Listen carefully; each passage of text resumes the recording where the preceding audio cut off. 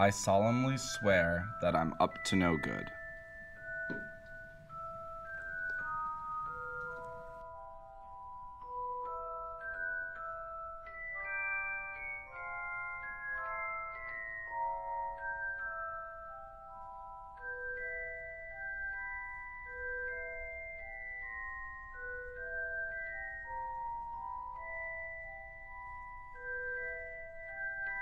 Mischief managed.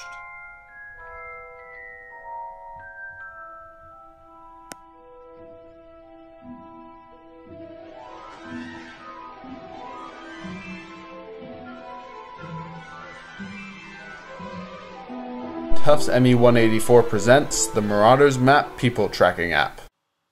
Hi, I'm Ben, And I'm Shane. and we did the people tracking for the Tufts Marauders map. Now Shane is going to show you how our simple code works.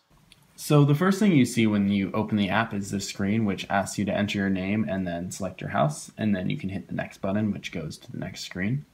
The way this works in the block diagram is when you hit the next button, it checks to make sure you actually filled in the values and then it puts together an HTTP post request that creates the object and then a put request that fills the object with some basic data. From there, it moves to the next screen um, which is pretty straightforward. It just shows the user their lat long and has a button for deleting the property. Um, the way this works in the block diagram is when the clock, which is a timer, um, it puts together, it pulls the user's data and puts together a put request with their location data.